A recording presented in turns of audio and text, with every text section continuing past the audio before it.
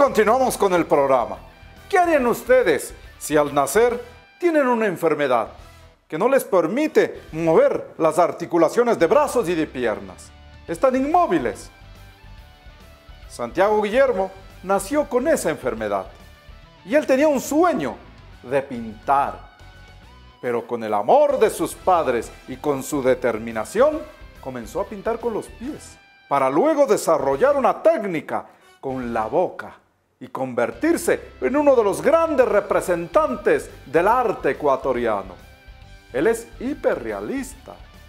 Lo que mira, lo transforma en el lienzo, tal cual como se ve. El Vicente Hernández fue a conocerlo y a compartir y hasta aprender un poquito del maestro Santiago Guillermo.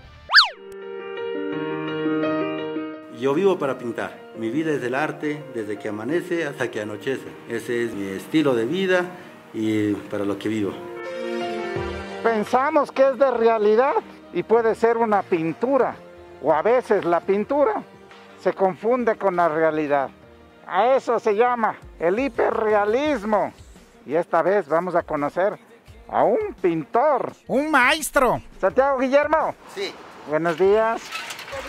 Buenos días, mucho gusto, encantado de poder recibirles. Guillermo Santiago o Santiago Guillermo. Eh, Santiago, mi apellido es Guillermo. ¿Y de dónde viene ese apellido? De mis padres. Siempre que digo mi apellido, creen que es mi nombre. ¿Y quién es Santiago? Santiago Guillermo, un soñador, esperanzado de la vida y soy artista plástico. Eh, domino el estilo que se llama hiperrealismo, que consiste en alcanzar la perfección de los elementos que se pintan. Llevo ya 32 años pintando desde los 5 años de edad. Ay, canijo, desde los 5 años vas pintando. Con la incentivación de mis padres. ¿Y con qué comenzaste? Empecé a pintar eh, con los pies y empezaba a garabatear. ¿Pero por qué pintabas con los pies? Bueno, yo presento una discapacidad física. Yo no puedo mover mis brazos. Mi discapacidad se llama artrogriposis. Tú no puedes sostener algo. No puedo utilizar mi mano para nada. No puedo doblar mis codos. Todos mis brazos están rígidos, no tienen movilidad. Y recuerdo que por incentivación de mi padre, dijo, a ver qué te parece si es que utilizas la boca.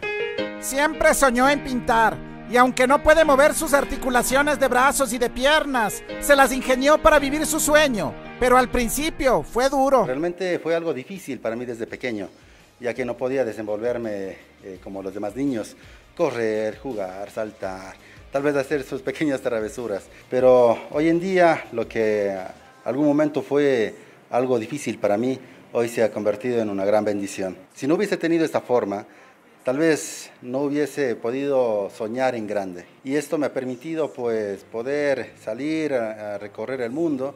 Oye, Santiago, ¿dónde nomás has expuesto? En México, en Francia por dos ocasiones, en Seúl, Corea también he participado en un evento que se llama Bilympics, que son las Olimpiadas de Habilidades Especiales, en donde alcancé en ambas eh, ocasiones del cuarto lugar a nivel mundial.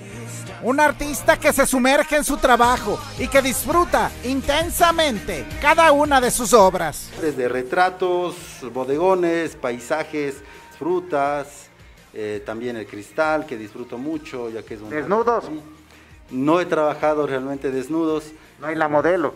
No hay la modelo, efectivamente. Este es un pedido que me hizo una cliente mía que le pintara a sus tres hijos. El famoso motepillo, pernil ahumado. ¿Te encanta la comida o no? Es uno de los placeres que uno se puede disfrutar en esta tierra, ¿no? La comida. Yo pinto eh, óleo sobre tela, que para mi estilo es un poquito demorado. En una hora yo me puedo tal vez tardar unos tres, cuatro, cinco meses. Incluso hubo una obra que me demoré ocho meses en terminarlo, por los detalles que yo me esmero en ponerlos. La única respuesta que se me viene a la mente es que no fui yo quien lo hizo, sino que hay un ser supremo que me da la capacidad, la habilidad para poder hacerla. Con una foto de modelo, Santiago capta los colores, las luces, texturas y formas de una manera mágica. Y así conquistó a su pareja. Apunte cuatro le conquistó. La verdad que yo siempre supe que me tenía que casar con una persona que admire mucho. Y yo lo admiro mucho a él por su manera de ver la vida y por su manera de vivir. Es eh, una persona muy perseverante en todo lo que hace y todos los sueños lo cumple. Y Magda te ayuda a veces, te pasa las cosas. Yo le digo que ella es mis manos. Si lo que yo no puedo hacer, pues ella lo hace por mí. Y él es mi heredero. Hola, mijo. Hola. ¿Y él pinta? Eh, bueno, él trata de imitar todo lo que yo hago. ¿sí? ¿Y él pinta con la boca entonces? Eh, sí, también ha pintado con la boca. Eh, espero realmente que también siga mis pasos en el arte.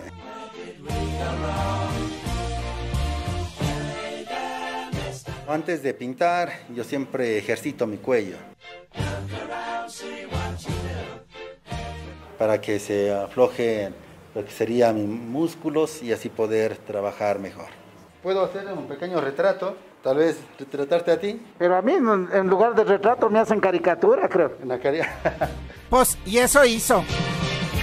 Una caricatura.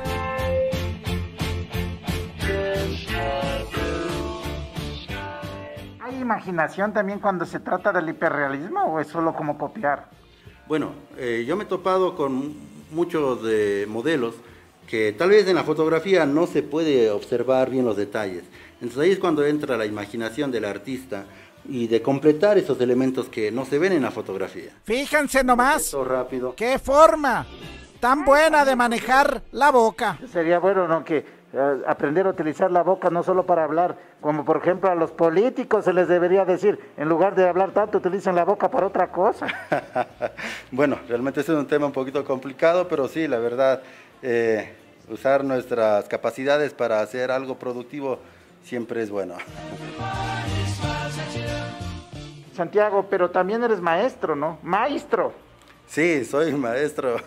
Dios me ha permitido formar mi centro de formación, se llama Sanarte, en donde imparto todos mis conocimientos, ¿Y por qué sanarte? porque el arte trae sanidad y el arte realmente sana nuestra alma, nuestra mente y nos hace olvidar de muchas cosas que en la actualidad podemos estar viviendo. Si no eras pintor, a lo mejor eras locutor con esa voz, ¿no? Estimados, muy buenas noches. Esta noche pues les vengo a presentar a un cuencano que pinta eh, con su boca. Él es Santiago Guillermo. Profe, ¿y si hay algún alumno que quiere, en lugar de utilizar sus manos, utilizar la boca, también le enseñas? Por supuesto, la discapacidad de una persona no está en su cuerpo, sino está en su mente. ¿Tu cuadro es casi una copia fiel de la realidad? Eh, no es por falta de humildad, pero mi trabajo supera la calidad de una fotografía. Mi anhelo no es alcanzar lo que mis ojos observan, sino sobrepasar eso. ¿Cuánto puede llegar a costar una obra tuya? Una de mis últimas obras eh, está cotizada en 5 mil dólares. Pues algo, algo aprendí del maestro en la primera clase y le hice una caricatura, un boceto.